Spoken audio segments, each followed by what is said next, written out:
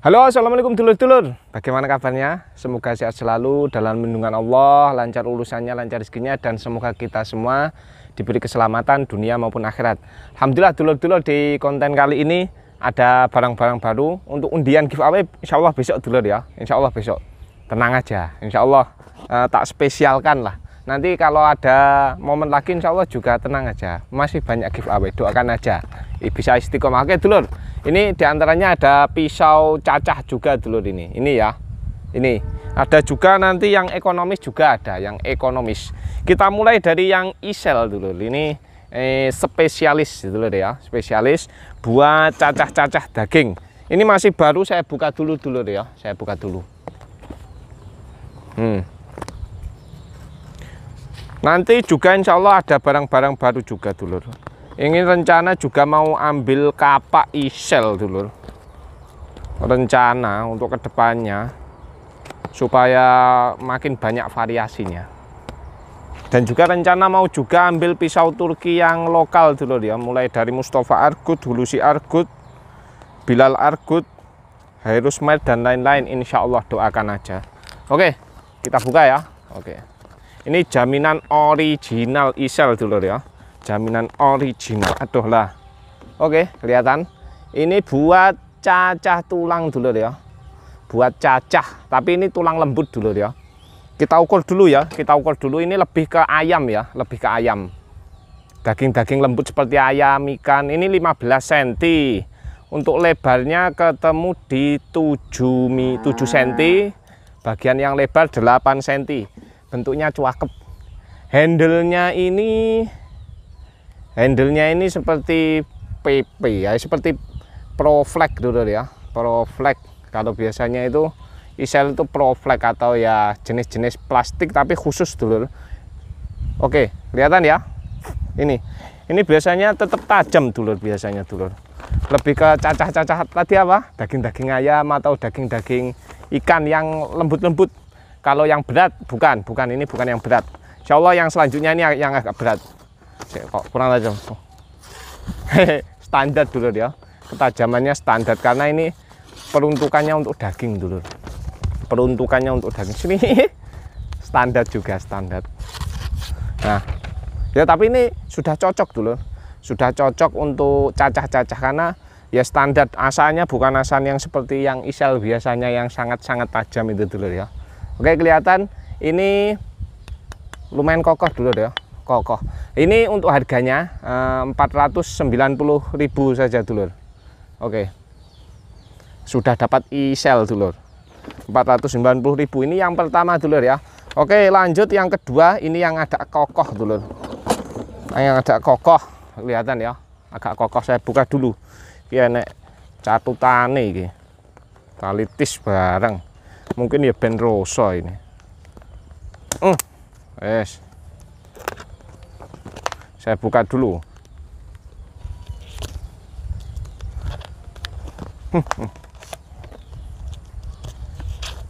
Ini kuwokoh dulur yang ini dulur.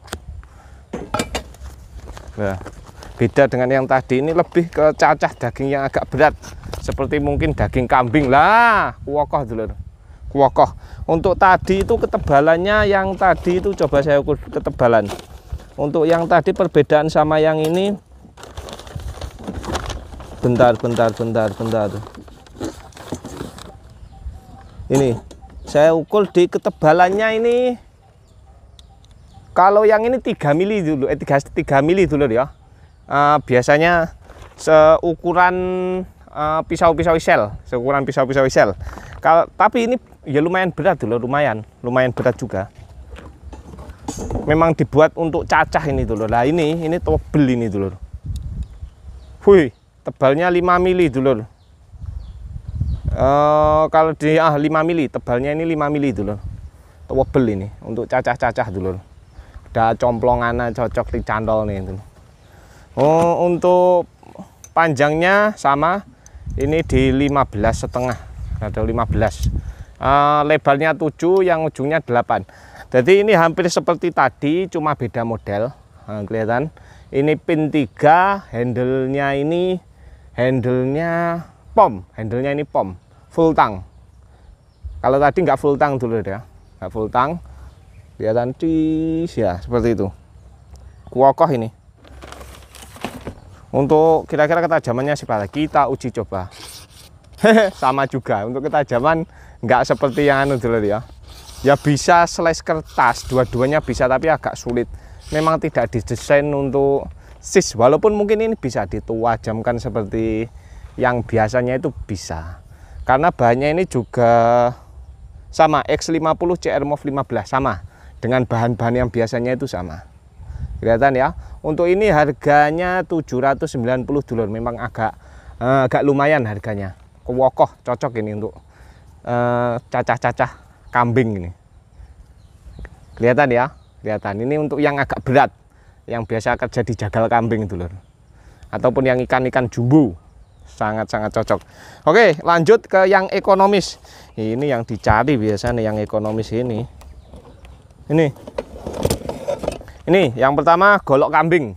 Kemarin seperti kemarin banyak yang request buatan tulung agung banyak per ini pipa. Ini. Ini belum saya asah dulu ya. Wes cocok untuk panjang bilahnya ini ketemu di 24 cm dulu ya. Lebarnya di 7 hampir mirip seperti anu cuma lebih lebar lagi. Terus untuk uh, ketebalan. Coba tak ukur dulu ketebalan. Ketebalannya ketemu di ketebalannya ketemu di ya lumayan tebal ini. Empat setengah hampir lima hampir seperti tadi ini ekonomis cuma 85.000 ini 85.000 kambing jen bahan-bahan Oke, yang selanjutnya ini, yang selanjutnya ini ayam dulu ya. Saya sarankan hanya ayam dan ikan karena agak tipis, tapi bajanya lebih bagus dari tadi. Ini per, ini banyak per ini. Untuk ketebalan lebih tipis ini 3 mili. Untuk lebar bilahnya ini ketemu di enam setengah. Untuk panjang bilahnya ini 27, lebih panjang dari yang tadi paling panjang ini. Ini ini yang paling recommended menurutku. Ini sama pipa biasa. Sama dengan tadi ini pipa. Cuma las-lasan dulu ya. Ini ala kadarnya yang butuh fungsional tak memandang rupa. Ya ini. Ini sangat cocok. Bagi kalian yang butuh fungsi gak butuh model gak butuh body ya ini aja wes kalau ini 90.000 dulu ya 90.000 Insya Allah awet ini. Kokoh. Dan kelihatan ngentring ya? Kelihatan. Ini Insya Allah sangat bagus ini. Sama yang ini sama yang ini. Ini ini beda-beda. Memang fullnya beda. Ini yang agak berat tapi harganya lebih murah.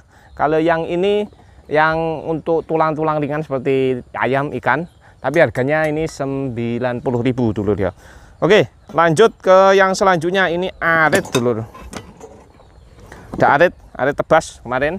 Arit tebas kayu arit tebas rambanan. Ini tebal untuk ketebalan di bonggol ini hampir satu mili satu mili satu senti ya satu mili. Satu senti. Untuk yang bonggol sih aduh sujuk orang naik sikil. Ini uh, di 7 mili. Untuk yang ujung sini 3 mili. Ini lumayan tebal buat tebas-tebas kayu rambanan. Kelihatan modelnya seperti ini untuk pengukuran sekarang saya ukur.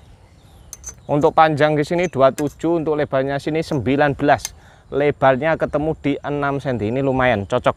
Bagi dulur-dulur pengaritan. Ini lebih cocok untuk nyari rambanan ya rambanan yang gede-gede ini lah kayak dulu-dulu kayak cocok ini. Oke lanjut ke yang terakhir. Ini titip jual kemarin dulu ya. Ini golek sembelih titip jual kemarin. Ini belum laku harganya minta diturunin dari masnya ini minta diturunin. Ini dari Mercy Unimog gitu. Modelnya seperti ini polisinya ya semi mirror ini ada minusnya kelihatan. Nah ini ada sedikit-sedikit karat. Dan juga ini juga ada spot karat. Kelihatan dah lagi hitung-hitung itu. Ini kelihatan. Nah ini tetap tak sampaikan minusnya. Oke panjang bilahnya ketemu di 30 cm lebar bilahnya di 3 cm untuk yang paling lebarnya ketemu di 4 cm untuk ketebalan bilah ketemu di 4 mili. 4 mili hampir 4 mili. Nggak sampai 4 mili ini. Oke untuk ketajaman seperti ini dulu ya. Wow, kali ini sebelah walaupun ini uh, menurutku masih standar masih standar. Bisa ditajamkan yang lebih lagi nih. Seret nah seperti itu ketajaman dulu ini dari abangnya uh, kemarin 400 ini minta 300 jasanya jasa titip jualnya saya minta 50 berarti 350 ribu saja dulur. Kayunya ini kalau dilihat ini kok seperti apa ya ini kayak ebony tapi kok ringan ya. Mungkin bukan kalau ebony ebony itu berat dulur. Mungkin ada yang berkomentar silahkan ini ada aksesorisnya duralium buatnya ada pengaman ada pin kuningan. Modelnya seperti ini modelnya. Modelnya cakep modelnya. Tapi itu minus-minusnya itu kelihatan seperti itu tadi. Mungkin dulur uh, ada kurang lebihnya uh, minta maaf ya. Yes, mungkin ini aja ya. Mungkin nanti insya Allah doakan ada barang-barang baru. Ini sudah ada yang masuk insya Allah dari perjalanan dari golok-golok dan pisau Nusantara maupun juga pisau-pisau Turki. Dan juga insya Allah nanti mau nambah lagi. Doakan saja semoga diberi keberkahan lancar banyak barang-barang yang murah dan berkualitas. Mungkin begini aja dulu ada kurang lebihnya minta maaf. Wallahu taala assalamualaikum warahmatullahi wabarakatuh